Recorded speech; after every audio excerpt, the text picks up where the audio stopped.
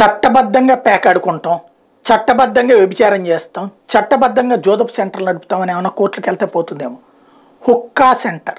మనకి సిగరెట్ తాగడానికి పర్మిషన్ ఇచ్చారు. కానీ ఆ పొగ కోసం ఓ సెంటర్ ఎట్టి కంటిన్యూగా తాగడానికి పర్మిషన్స్ దాన్ని అడ్డుకుంటే కోర్టుకు వెళ్ళి మేము ఇట్లా తాగబిస్తాం జనాలు చచ్చితే మీకెందుకు? పైన రాస్తున్నాం కదా. పొగ తాగడం హానికరం.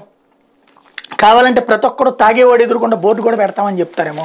తాజాగా ఒక్కా సెంటర్లో వాళ్ళు హైకోర్టుకి వెళ్ళారు పోలీసులు తమ వ్యాపార కార్యకలాపాలు జోక్ జోక్యం చేసుకోకుండా ఆదేశాలు ఇవ్వాలని కోరుతూ పలు హుక్కా సెంటర్లు దాఖలు చేసిన పిటిషన్లలో హైకోర్టు తీర్పు వాయిదా వేసింది.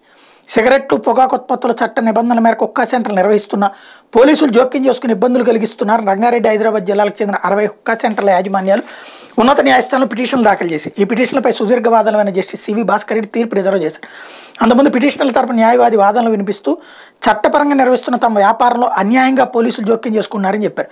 ప్రభుత్వ న్యాయవాది వాదిస్తూ హుక్కా సెంటర్ హుక్కా పార్లర్ అనే పదాలకు చట్టాల్లో చోటు లేదన్నారు. స్మోకింగ్ రూములు మాత్రమే చట్ట ప్రకారం గుర్తించింది. హుక్కా కేంద్రాలు మైనర్లను ఆకర్షిస్తూ వారి జీవితాలు విచ్ఛిన్నం కావడానికి కారణమవుతున్నాయి. స్మోకింగ్ రూముల మధ్య అవసరమైన దూరానికి సంబంధించిన నియమాలు పాటించడం లేదు.